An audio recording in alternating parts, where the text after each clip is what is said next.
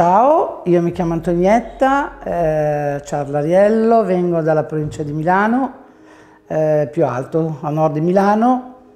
Eh, allora, mi trovo qui, sono arrivata con tante speranze, esaudite, tutte fino all'ultimo. Eh, la mia storia è una storia un po' complicata, è una storia di una persona che ha sempre sperato di avere eh, una bella bocca, una bocca sana, eh, una bocca che si potesse ammirare in questo caso. Io ho iniziato a 16 anni il mio calvario, anche prima. Oh, avevo un problema di saliva estremamente salata e questo mi portava a essere, ad avere i denti, lo smalto dei denti tutto corroso e quindi ho cominciato molto presto con le devitalizzazioni, tutte queste cose e I miei genitori mi portarono da un dentista che dissero già a 16 anni di mettermi in bocca una dentiera e vabbè, questo non è stato fatto. Eh, I miei genitori con tanta fatica mi hanno messo in bocca il lavorone che ai tempi era con le capsule d'oro, con la ceramica esterna, allora era un lavoro da divi, no? Fare queste cose, però i miei genitori si sono impegnati e mi hanno fatto questa cosa spesero tanti soldi nel 75 e lì ho cominciato poi comunque ad avere questi problemi, eh, poi la parte inferiore. Prima hanno sistemato la parte superiore, poi siamo passati alla parte inferiore, ma erano sempre dentini aggiustati un po' così. Insomma, io sono andata avanti fino all'età di eh, 38 anni eh, con questo ponte in bocca, ma erano denti che non, erano, non avevano forma, non erano bianchi, non erano, non erano belli. No, no, non avevo parodontite, avevo, avevo i denti che praticamente tra un dente e l'altro ci passava quasi, eh, quasi una matita. Cioè si erano corrosi tra dente e dente, c'erano questi buchi che la, la, saliva aveva pensato bene di consumare. E il dentista poi dove sono andato ha fatto analisi della, della saliva e lì è venuto fuori il problema che io avevo quindi in ogni caso io ero destinata comunque a perdere i denti o in ogni caso fare lavori di ricostruzione. Quello è stato fatto in quell'occasione del 75.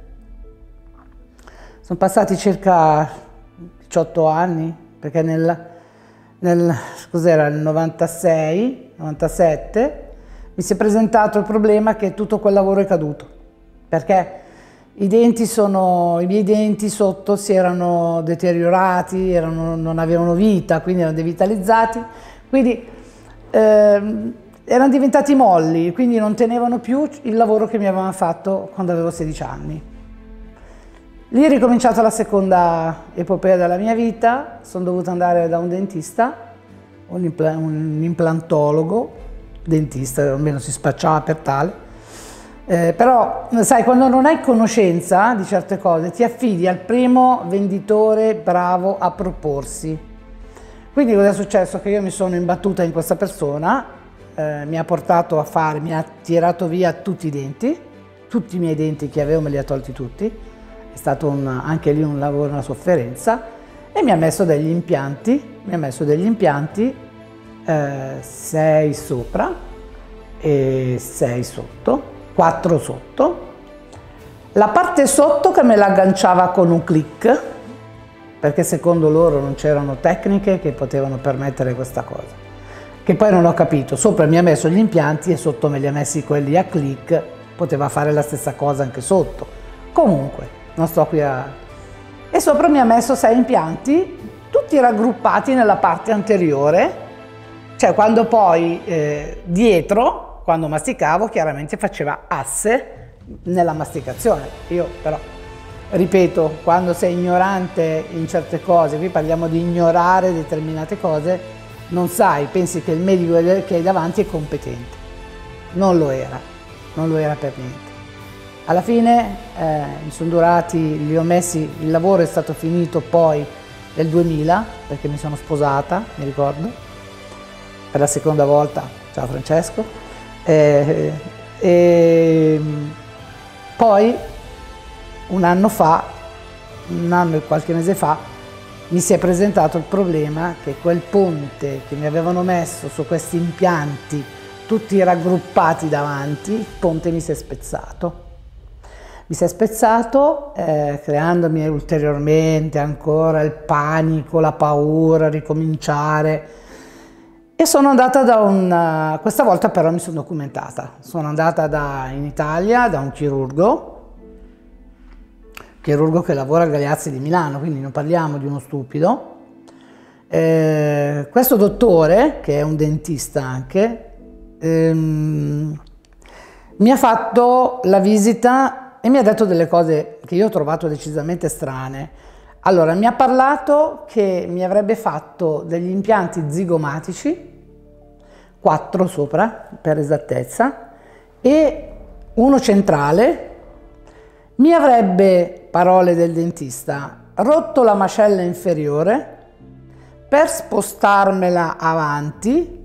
Io mi sono spaventata quando mi ha detto, io ho sentito parlare di queste cose, cioè per un attimo mi sembrava di vedere un camion che mi passava sopra, proprio spaventata, devo dire la verità.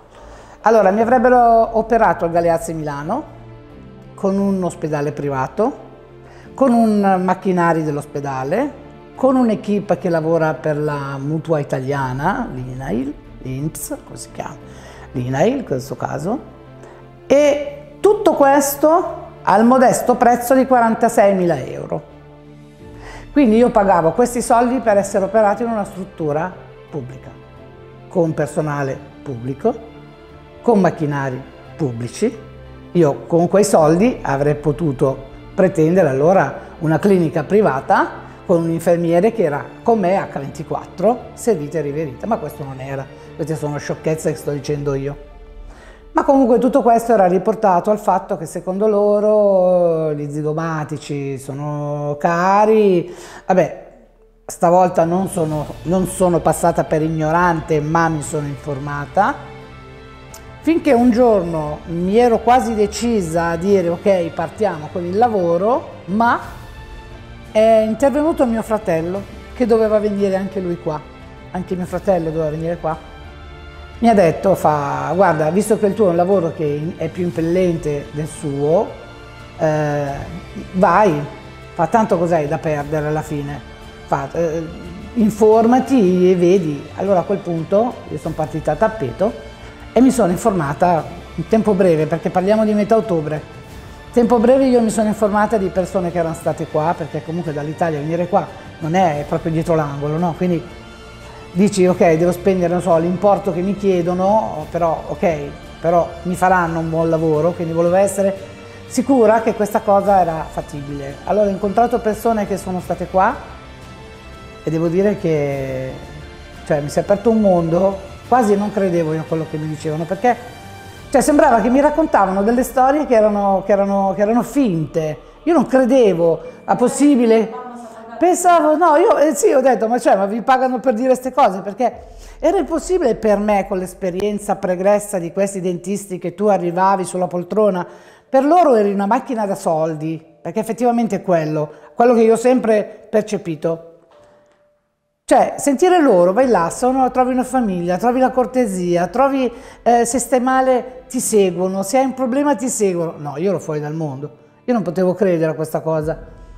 Allora poi vabbè mi sono informata un po', un po' ancora un po', ho, ho incontrato circa 4-5 pazienti, però tutti e 4 e 5 mi dicevano la stessa cosa. Allora a questo punto ho detto, eh beh, se, se, uno dice una cosa e tre dicono il contrario, allora indaghiamo in quello che è contrario per capire se veramente è tutto così. Alla fine eh, ho potuto rendermi conto che comunque eh, quello che dicevano era vero, eh, io presa, ormai i tempi erano stretti, fine ottobre eh, ho fatto il biglietto dell'aereo, cioè no, ho chiamato, mandato la panoramica, eh, mi ha risposto il dottor Palmas, mi, ha, mi, hanno dato un coach che mi segue telefonicamente, Francesco, ciao Francesco, bravissimo, mi ha dato un appoggio incredibile. Alla fine quando poi ho ricevuto i preventivi sono arrivata è arrivato il preventivo, mm, chiaramente poi quando ricevi un preventivo eh, ti fanno un preventivo, però è chiaro che quando tu poi arrivi qua fisicamente loro vedono proprio il problema proprio alla, alla fonte, no? però dal preventivo che mi hanno fatto al, al costo finale eh, c'è poca, po, poco, c'è un gap molto corto. Di conseguenza sono arrivata qua un anno fa, al 30 ottobre sono partita, sono arrivata qua da sola, tanta paura, sapevo che dovevo fare delle cose ma le dovevo fare io, nessuno al posto mio le poteva fare. Eh, ho iniziato chirurgia un giorno, due giorni, eh, ringrazio il mio chirurgo Simeon che ha avuto una pazienza con me che non l'ho fatto disperare un po', protesista li hai eh, nel cuore proprio, ragazze, voi tutte ragazze che siete di un cuore pazzesco, ho iniziato questa cosa e ho fatto un altro viaggio poi a marzo, premetto che a marzo avrebbe dovuto venire anche mio fratello, purtroppo è venuto a mancare. Quello che mi ha spinto a venire qua è venuto a mancare un incidente sul lavoro. Ciao Michele, questo sorriso è per te. E io ho continuato eh, fino in fondo, anche se c'era dolore, non fa niente. Io avevo davanti ciò che mi ero prefissata, io mi ero prefissata questa bocca bella, bianca, sana, che eh, guardi una persona, non ti guarda negli occhi ma ti guarda la bocca, quindi per me era una cosa, il mio traguardo e ho raggiunto. Quando sono arrivata qui che mi hanno fatto l'attacco, io ero convinta di fare l'anestesia generale con impianti zigomatici e invece qua mi hanno fatto il, il grande rialzo del, del mascellare e mi hanno detto che non era necessario mettere gli impianti zigomatici per com'ero, non serviva l'anestesia generale. E mi hanno fatto un ottimo lavoro, io ho visto l'attacca, vedo proprio dei bei soldatini in bocca ben allineati, sembra veramente che sembrano proprio dei soldatini, e, cioè, in confronto del lavoro dell'Italia non c'era ma poi quella cosa che mi hanno detto che mi dovevano spaccare la mano, io gliel'ho detto al mio, al mio chirurgo qua, ho detto guarda in Italia mi hanno detto che mi dovevano, ma proprio parola così, spaccare la mascella perché dicevano che io avevo una, una rientranza.